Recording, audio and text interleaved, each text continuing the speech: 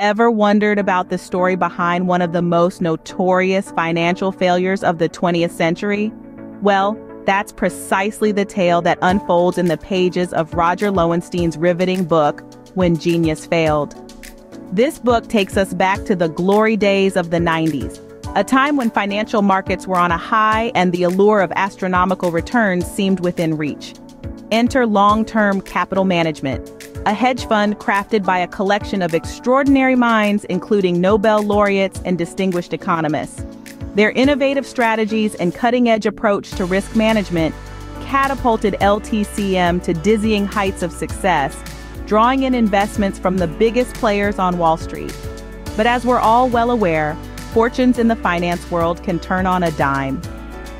Despite their initial meteoric rise, LTCM soon found itself in the throes of a financial crisis, setting the stage for an epic downfall.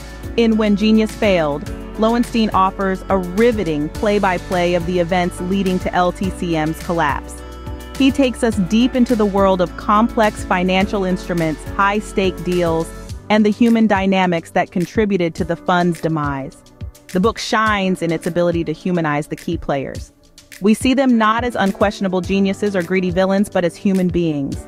Brilliant, ambitious, but also capable of making costly mistakes.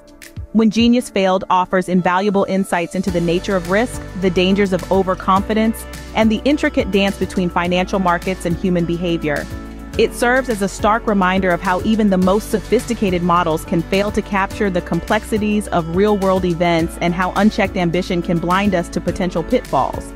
Beyond its lessons in finance and economics, the book is a cautionary tale about the societal implications of unchecked risk-taking.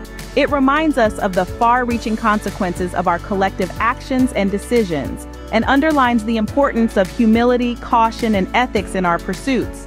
Lowenstein's masterful storytelling makes complex financial concepts accessible and engaging to readers from all walks of life.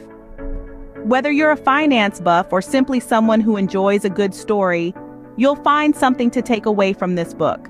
In essence, when genius failed compels us to learn from the past, question our assumptions, and approach risk and uncertainty with humility and wisdom. It is a stark reminder that even the most brilliant minds are not immune to failure, and that there's much we can learn from those who've trodden the path before us.